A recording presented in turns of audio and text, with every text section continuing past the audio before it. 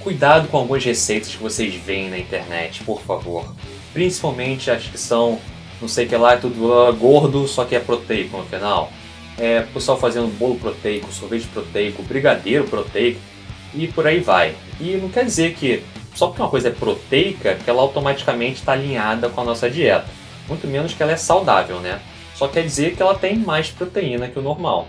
É difícil recomendar para vocês alguma coisa sem analisar, mas se você for entrar nessa de pegar receitinha, outro lugar na internet, procure receitas que são low carb, ao invés dessas proteicas.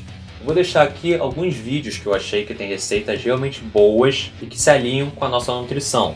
Apenas não exagerem né, e mantenham-se fiéis aos tamanhos das nossas porções.